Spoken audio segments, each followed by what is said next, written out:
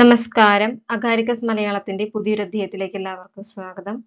Kerala P S നടത്തുന്ന biologist എക്സാമിനേഷന്റെ model question answer discussion ആണ് നമ്മൾ നടത്തിക്കൊണ്ടിരിക്കുന്നത്. First question which of the following is a consequence of carbohydrate deficiency in animal nutrition answer options option A decreased muscle growth option B increased fat storage option C reduced milk production. Option D, weakened immune system.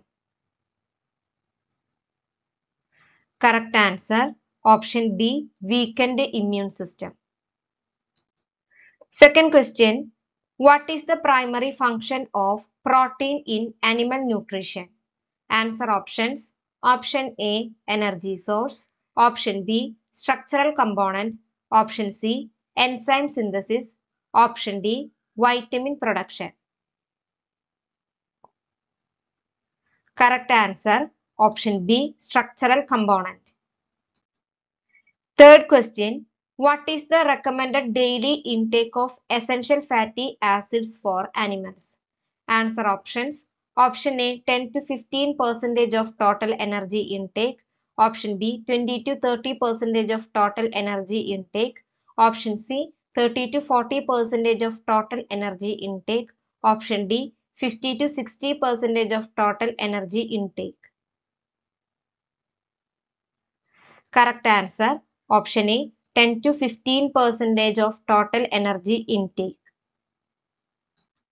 Fourth question, which type of fodder is rich in protein and often used in livestock diets?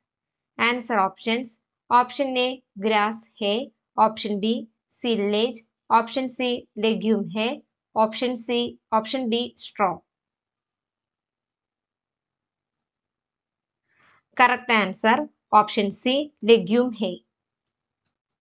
Fifth question, which type of fodder is commonly used for horse and provides a good source of fiber? Answer options, option A, Timothy hay. Option B, Lucerne hay. Option C, Bermuda grass. Option D, ray grass. Correct answer, option A, Timothy hay. Sixth question, which protein evaluation method measures the amount of essential amino acid present in a feed? Answer options, option A, protein efficiency ratio. Option B, biological value. Option C, net protein utilization. Option D, chemical score. Correct answer, option D, chemical score. Seventh question, why is artificial feeding sometimes necessary for wild animals? Answer options, option A, to control their population size. Option B, to protect them from predators. Option C, to compensate for natural food shortages. Option D, to prevent them from migrating. Correct answer, option C, to compensate for natural food shortages.